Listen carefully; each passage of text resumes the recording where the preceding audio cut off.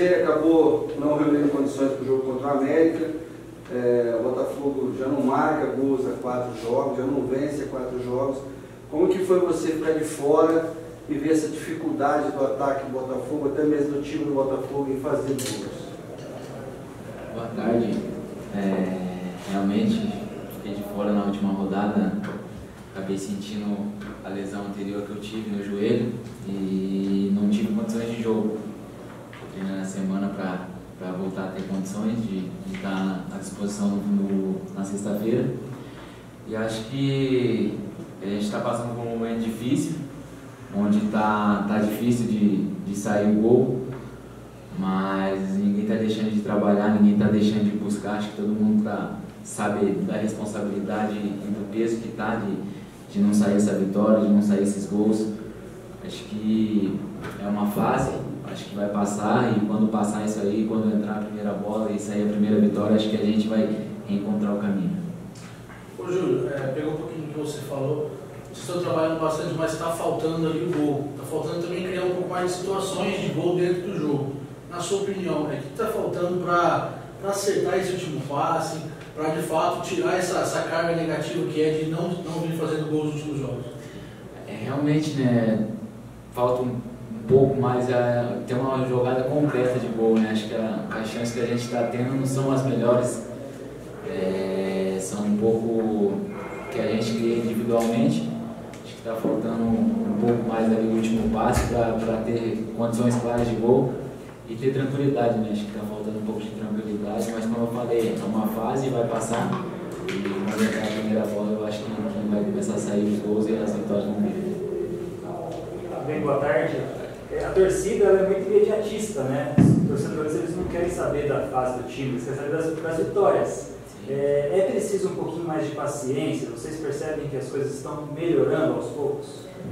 Cara, que eu me coloco no lugar do torcedor, acho que ele tem o direito de cobrar, porque já tem quantos jogos sem, sem vencer, né? Então, de um time, eu acho que do jeito que, que o Botafogo iniciou a Série B, todo mundo esperava mais, né? Acho que isso aí deu uma expectativa maior para o nosso torcedor. E com certeza a gente está devendo, todo mundo sabe disso, da responsabilidade que estamos devendo, porque já, já são uns sete jogos sem vencer, então isso aí pesa um pouco. Quatro, quatro jogos sem, sem vencer, então pesa um pouco, mas a gente tem que manter tranquilidade, é, voltar a fazer bons jogos e, e vencer aqui dentro de casa, que é o mais importante. Existe algum fantasma da parte de baixo da tabela aí, entre vocês ou não? Não, acho que, que ainda não, né? Acho que a gente está tá mais próximo do G4 do que do, do Z4, né? Então acho que a campanha de toda não é ruim.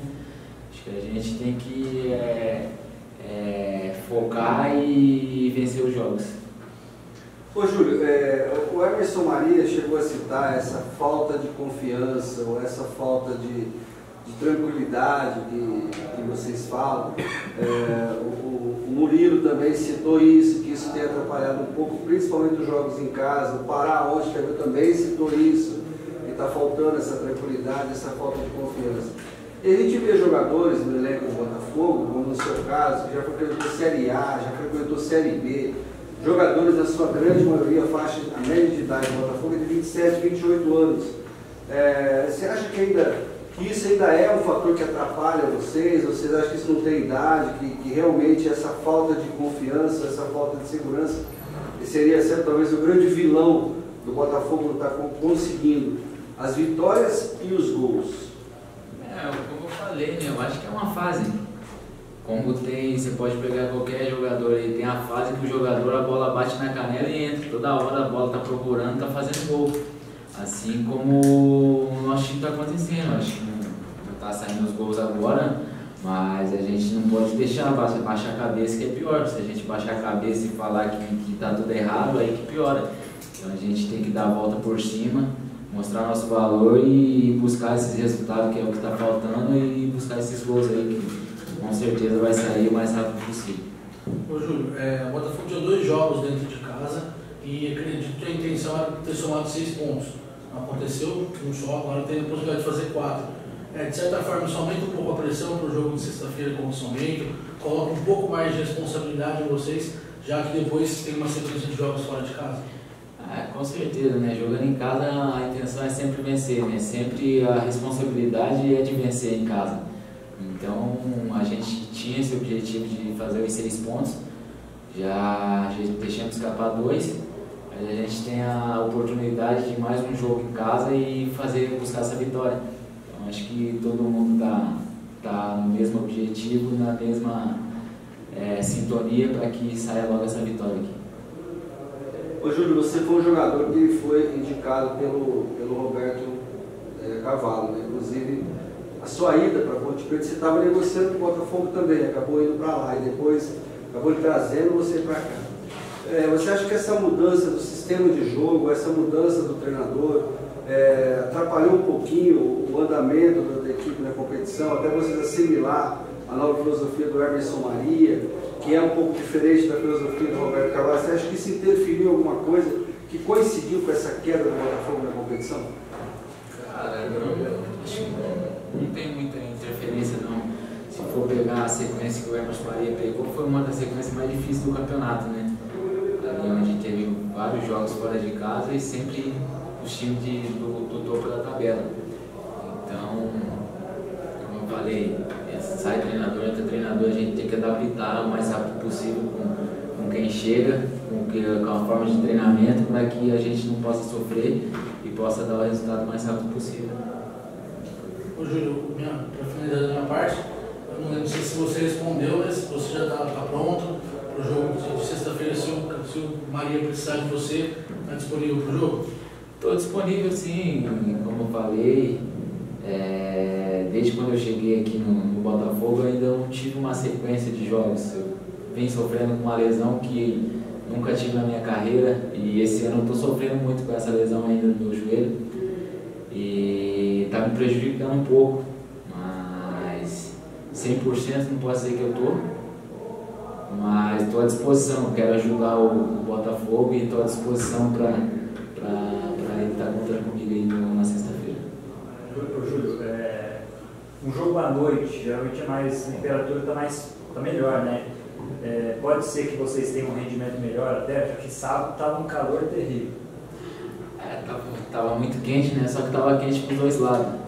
Então, mas isso prejudica. Eu acho que jogos 11 horas, ainda mais em lugares quentes, eu acho que não, não deveria ter, né? Eu acho que como Ribeirão, Goiânia, esses lugares são muito quentes, Cuiabá, eu acho que 11 horas é até um, pecado, né? Vamos supor colocar um jogo 11 horas com o sol de 40 graus na cabeça é complicado.